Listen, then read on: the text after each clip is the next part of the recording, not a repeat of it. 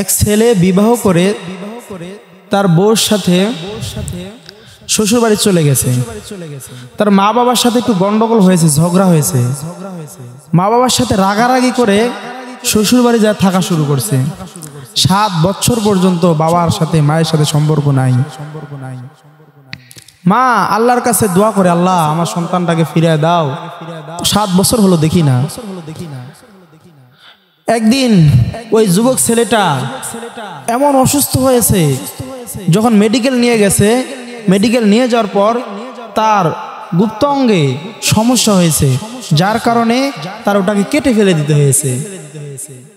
এত বড় সমস্যা। এই কারণে তার স্ত্রী তাকে ছেড়ে দিয়ে আরেক জায়গায় বিবাহ করছে। শ্বশুর বাড়ির লোকজন তাকে ঘর থেকে বের করে দিয়েছে। সাত বছর পর যখন বাড়িতে আসতেছিল, বাড়িতে আসার পর দেখে সেই জায়গায় আর বাড়ি নাই, একটা বাগান হয়ে গেছে। দেখে একটা ছেলে কাজ করতেছে। ছেলেকে জিজ্ঞাসা করে, এই জায়গাটা কি অমুকের না? এখানে যেই ছেলেটাকে, যে লোকটার বাড়ি ছিল, সেই লোকটাকে আপনি চিনেন? এই লোকটাকে এখানে নাই? তখন ছেলেটা বলতেছে হ্যাঁ এই জায়গাটা অমুকের ছিল। তবে তার ওই লোকটা অনেক অসুস্থ হয়ে গেছিল। অসুস্থতার কারণে জমি জমা বিক্রি করে চিকিৎসা করে তখন ভালো করতে পারে নাই। তখন সে মারা গেছে আজ থেকে তিন বছর আগে। আর ওই বাড়ির মহিলাটা এমন অসুস্থ যে তার একটা ছেলে ছিল, ওই ছেলেটা তাকে সাত বছর আগে ছেড়ে চলে গেছে। এই জন্য কানতে কানতে তার চোখ অন্ধ হয়ে গেছে। মানুষের বাড়িতে বাড়িতে ভিক্ষা করে আর পরের জায়গায় থাকে। এত সমস্যায় পড়ছে। ছেলেটা চোখের পানি ছেড়ে কান্না শুরু করে দিয়েছে আর বলতেছে, হাই, আমি যদি ছোট থাকতে এটা বুঝতাম যে মা বাবার মতন আপন কেহ নাই। আজকে আমি যদি মা বাবার সাথে থাকতাম মা বাবা আমাকে কখনো ছেড়ে চলে যাইতো না। মা বাবা আমাকে কখনো ফালাইয়া দিত না। আজ আমার স্ত্রী ছেড়ে চলে গেছে। শ্বশুর বাড়ির লোকজন আমাকে বের করে দিয়েছে। আজ আমার কেউ নাই কেউ নাই। আজ আমি মা বাবারকে দেখতে আসছি। এসে দেখি আমার বাবা দুনিয়ার জমিন থেকে বিদায় নিয়ে চলে গেছে। এখন আমি একা হয়ে গেছি। আমার মাও নাকি আমার জন্য কান্না করতে করতে এমন অবস্থা যে তার চোখ দুইটা অন্ধ হয়ে গেছে।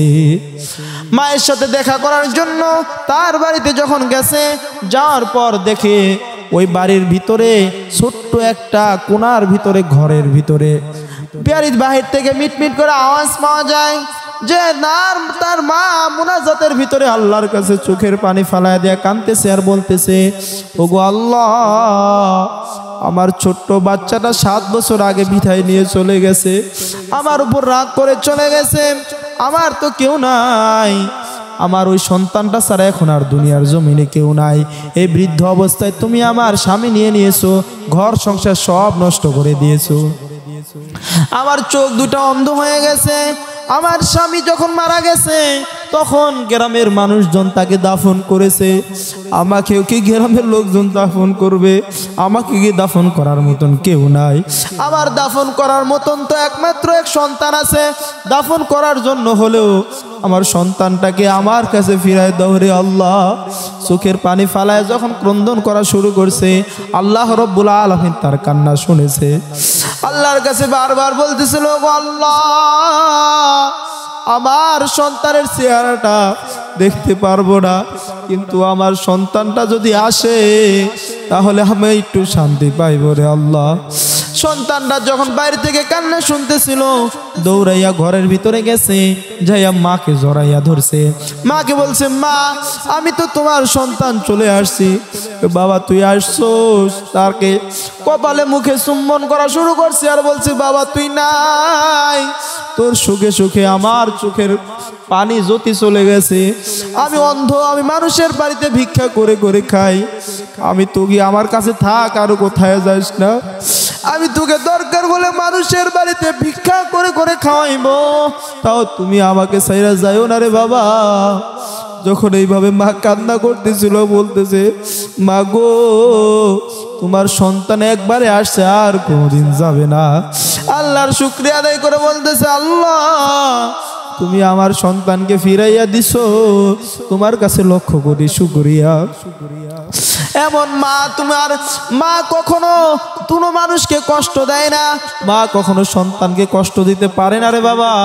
ওই মা, এমন একজন মা, যেই জনম দুঃখিনী মা সন্তানের জন্য কত রকমের কষ্ট করে। একটা মায়ের জন্য কবরে যাওয়া জায়েজ নাই। একটা মায়ের জন্য গোরস্থানে তার সন্তান যদি মারা যায়, তাকে মাটি দেওয়া জায়েজ নাই। কিন্তু বাবা যাইয়া তার সন্তানটাকে মাটি দিতে পারে রে বাবা। কারণে সন্তান যদি মারা যায়, তাহলে ওই বাবা সন্তানকে কবরে রাখিয়া উপরে উঠিয়া আসতে পারে। কিন্তু একজন মা সন্তানকে কবরে রাখিয়া তাকে উপরে উঠে আসার কোনো ক্ষমতা নাই। মা সাথে সাথে ওই সন্তানকে জড়াইয়া ধরিয়া কবরেই মারা যাইবে। এই জন্য মা এমন একটা জিনিস, মা, এই মাকে তোমরা কেমনে কষ্ট দাও? আজকে বৃদ্ধাশ্রমে মাকে রেখে আসতেছো, মনে রাখবা, কালকে তোমাকে বৃদ্ধাশ্রমে রেখে রেখে যাবে। ও যুবক মাকে কোনোদিন কষ্ট দিও না, বাবাকে কোনোদিন কষ্ট দিও না। হুমা জান্নাত না রুকা মা বাবাই হলো তোমার জান্নাত। তারাই হলো তোমার জাহান্নাম। রিদর রব্বি ফি রিদল ওয়ালিদাইন, ওয়া সাখাতুর রব্বি ফি সাখাতুল ওয়ালিদাইন। মা বাবার সন্তুষ্টিতে আল্লাহ সন্তুষ্টি, মা বাবার অসন্তুষ্টিতে আল্লাহ তাআলা অসন্তুষ্টি। Presents by Kuakata media centre হক্কানি আলমদের নিত্য নতুন ভিডিও পেতে আমাদের চ্যানেলটি সাবস্ক্রাইব করুন। কুয়াকাটা মিডিয়া সেন্টার ইসলামিক বিনোদনের বিশ্বস্ত সঙ্গী।